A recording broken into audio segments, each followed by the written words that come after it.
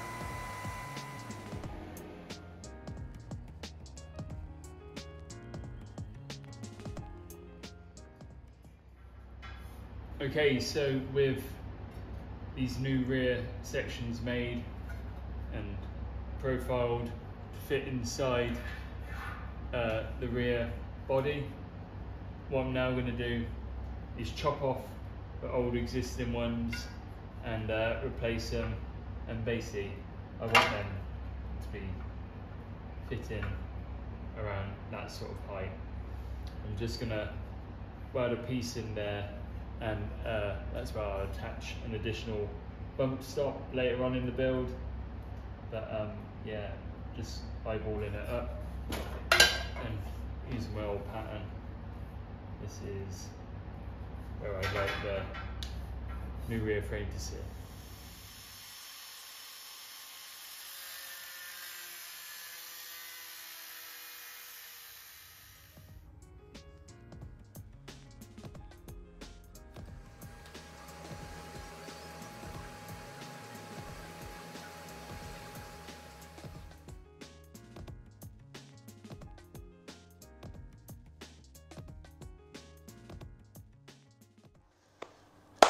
Okay, so finally I got my Austin 7 Prescott t-shirt that took two weeks in the post to arrive. So my friend Ashley designed it for me. I'll just bring it up so you can see it.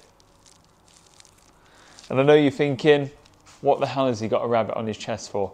But it's not a rabbit. That is actually the Prescott uh, course. So you start here and work your way around. So A7P, Austin 7 Prescott, it stands for. If you want one, let me know. I really like the design. Um, hopefully others do too. And uh, basically everything raised from that will then go back into the special build and the channel. So I'll leave a link in the description on how you can contact me if you want one. I'll make them as cheap as possible because I know there'll be thousands of people that want one. So yeah, hit me up if you want and uh, thank you for this. Okay, so I just thought I'd take a moment to explain in this segment, uh, basically in reply to a lot of comments that I had in the previous video uh, about the body design and everything and people saying it's too low, your head pod's too low. And I know that, and it's kind of, you know, if I brought it up any higher, I think it would spoil the look of the car of what I was actually going for, because it then makes the back end a lot fuller.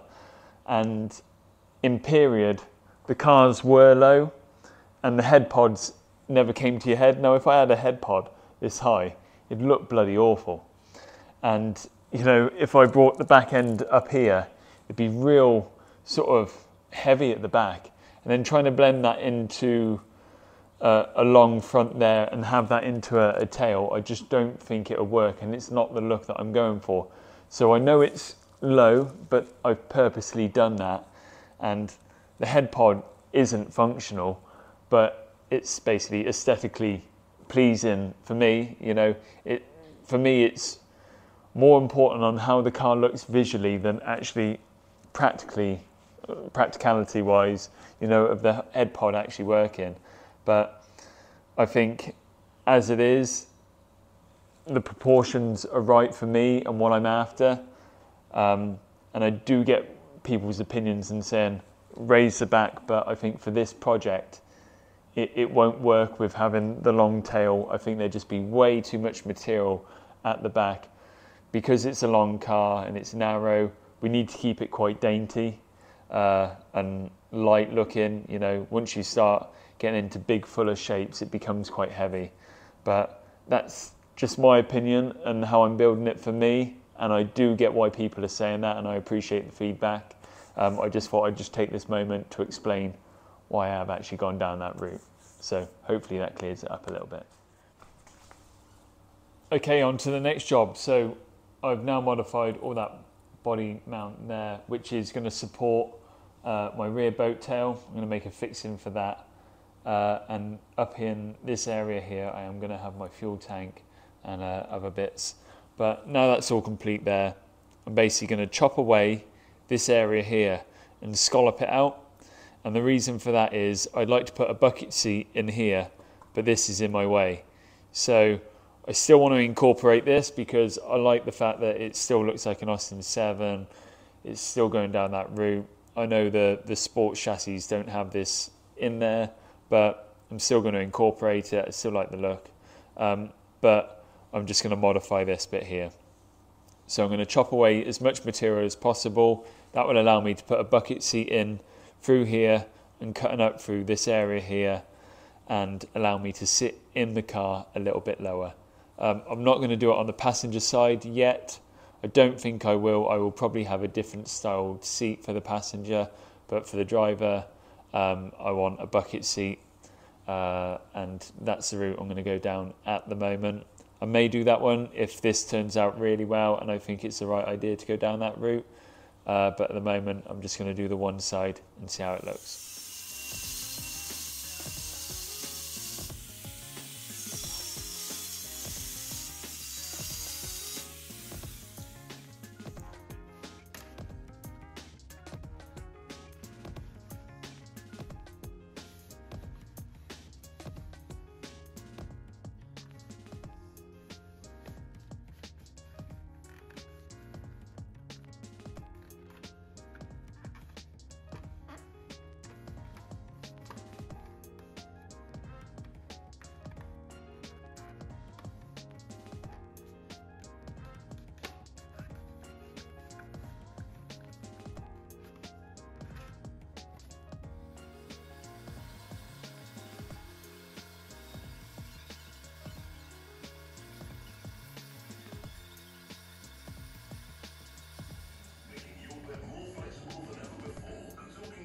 Okay, so the next bit now I've modified those areas there is going to be this internal structure. And with the shape of the body makes it a little bit awkward. So I'm going to need something to hold that internal structure because I want it to be an aluminium structure and I need it to attach to a steel chassis. So I'm going to have to make a bracket. So I've made this little template that's going to fit around there. It's enough clearance for the spring to move up. Um, so I think at the moment, but that can be modified. And this is going to hold my internal structure, which is going to consist of a 25 mil, uh, 2 mil aluminium angle, which is going to be shaped to that profile. And then off of that, to add a bit of rigidity, is going to be a uh, sort of L-piece aluminium uh, 1.5 panel that's going to follow that profile. That's going to be dimple died just to add a little bit of strength uh, and make it look a bit more period. So I'll explain that as I go along, but hopefully that will be strong enough for this over piece here. And if I'm happy with the result, I will then do that for the scuttle panel and uh, possibly the bulkhead as well. So that's how I'm going to approach it. But first of all, I've got to get these brackets into place. Um, and these are going to be made out of, two mil steel. And I think that should be plenty.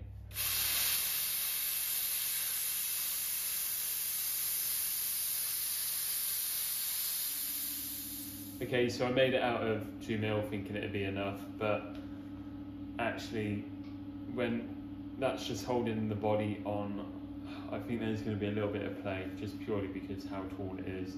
There is a little bit of flex in there.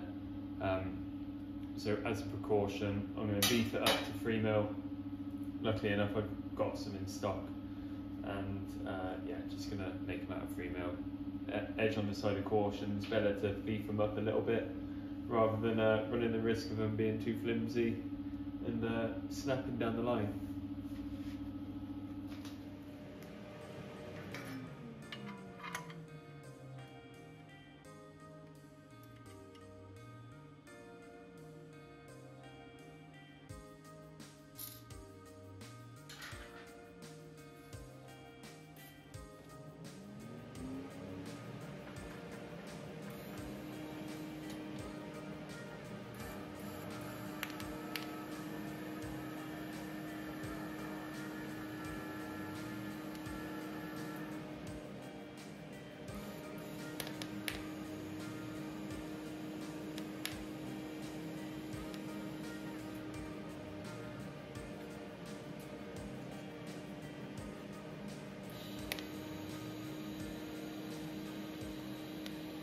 On to the next bit. I now need to construct my inner frame from my 2 mil, uh, 25 mil by 25 mil angle uh, that I've bought. Um, I'm literally just going to follow this profile around here and I'm going to take this line along here but like I said in the previous video I want this to have shape all the way through and these are just straight down so I am going to uh, incorporate just a little bit of shape um, to my inner structure and then this will determine the outside shape. It'll be very subtle because I want it to be, well, subtle all the way through, but I don't want it to be flat. So it's important that I add the shape into this frame if I'm going to be riveting it to the body. Uh, otherwise, it's just going to pull that body in.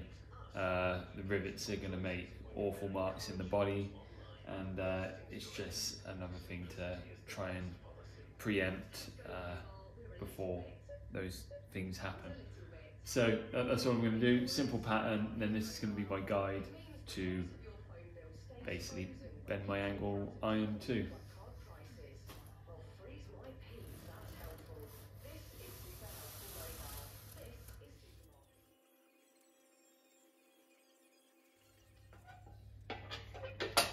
So what I'm doing now is just shrinking this round doing it very gradually. You don't want to start stretching it back if you can help it.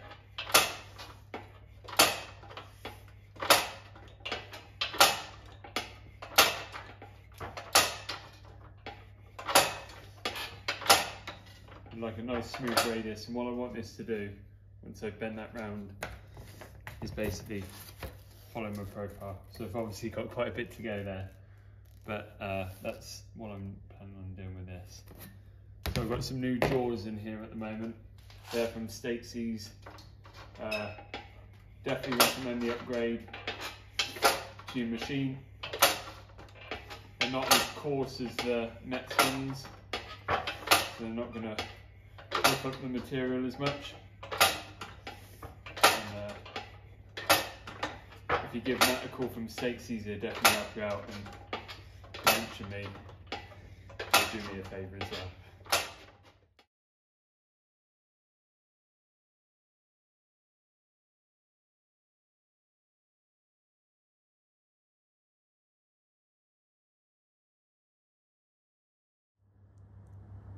So this is in place now. I'm happy with where it's touching for the time being. A uh, little bit tricky actually, caught me out ever so slightly uh, with the shape around here. I've had to stretch this edge along here just to add a bit of a, an angle to it, just so it flares out. I'll do that on the other one and I'll film that one so you can see. But what I do now is repeat it, add a bracket over here, and then make it for this section along here now.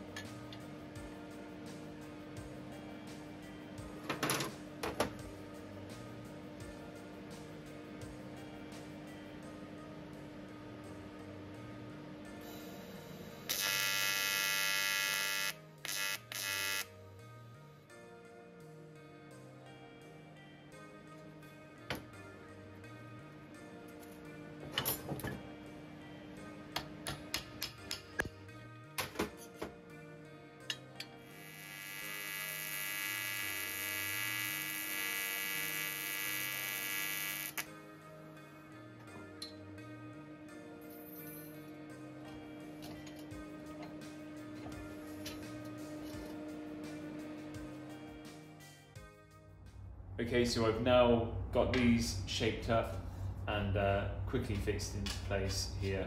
I've got some uh, little steel brackets that I need to brace a bit more um, and they're only tacked in. Uh, once I remove this wire form, I can then get these aluminium fixtures into their true position uh, because at the moment they're all 8 and in some cases 16 mil inbound. So once I remove this, I can then get them into their true position. I've also made this little piece that's going to go over the rear spring. Um, haven't finalised position for that, so I just want to double check uh, when there's two people standing on the back that I've got enough uh, clearance there. And this piece here, I'm going to shape up, links the rear section, rear aluminium frame to the front along the bottom. I'm going to shape it that way, um, and then my body skin is going to attach through there. It's going to be riveted on. Uh, and how I'm going to gauge basically how much shape I need is I've got these profile gauge uh, gauges uh, or sweeps, they're traditionally known as. Uh, I've had a hundred made. I have had other sets made if anyone is interested, and I will be using these throughout the build uh, when it comes to the bodywork. Basically, you, you work out what shape or you know what shape you want, you find the right profile sweep, you offer it up, and that is your guide. So I know I need a number 16 from this point here to here, and that is my reference point there, so I'm going to offer that up. And I know I need a 16 in here because it's going to be the same shape as my body, so this is what I'm going to offer it up to. So that is my next task. I'm just going to probably skin pin these all into place. I'm not going to fully weld them in yet. Uh, that can be done further down the line when I know it's all in the exact place that I want it at the moment all this can move. So that's what I'm to crack on with now.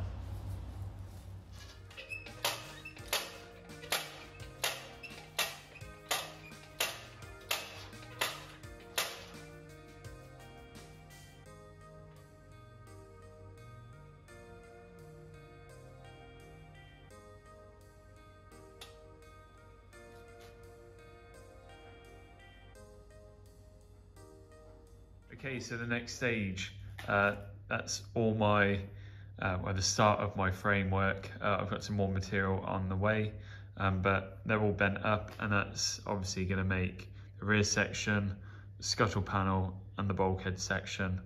And I've got some segments running along the bottom to tie it all together. Uh, I've just ordered some more material, so that's gonna link all of this up here and add a bit more additional support. Um, there is more material that is gonna join on to all of these uh, to stiffen it up. So this is just the start of the, the basic outline shape and that is going to basically form my cockpit area uh, to the car.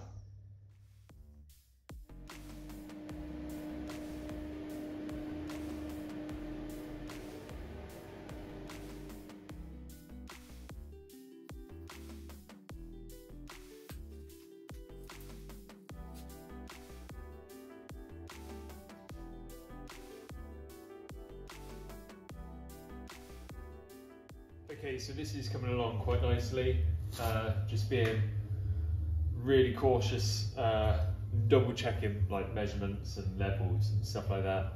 Uh, one thing that I've, I've, noticed, which I haven't put enough shape into, where I've stretched these edges because you've got to think that body's going to be coming round, so these aren't going to be 90 degrees.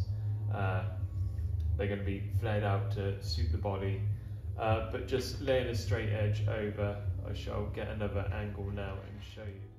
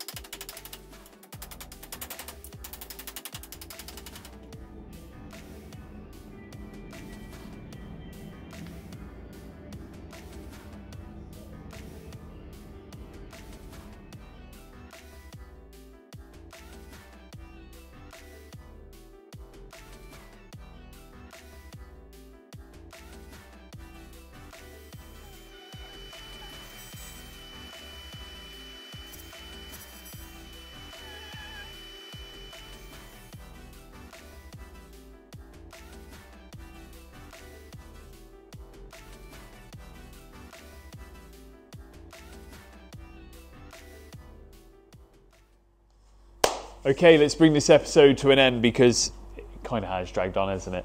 Um, so, where have I got to? I've basically made my cockpit area or mocked most of it up.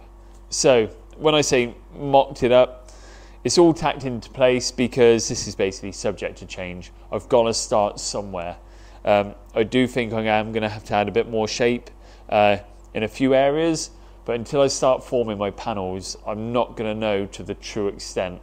Um, I've come off my wire buck, I've added shape where I think it's needed, um, but I still think I need to add a bit more. But um, that's why it's only tacked in place.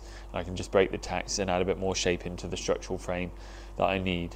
Uh, in the next part of the episode, I would like to develop my bulkhead uh, coming down here. Uh, it's behind the tyre, I know. Um, and behind the pedal box.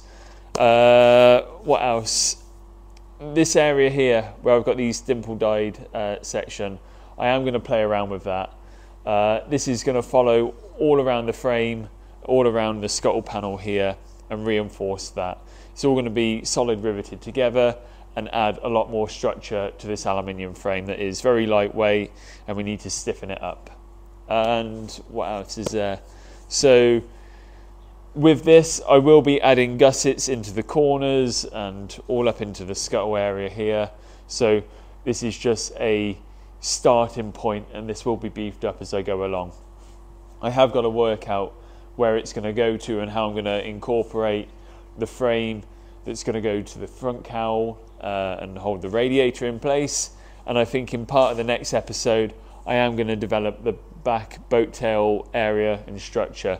I am going to have to basically come up with a way of supporting that boat tail because that is a, a huge amount of area to be hanging over the back wheels and not having any support. So I am going to have to come up with a, a way to do that and keeping that basically in this uh, theme.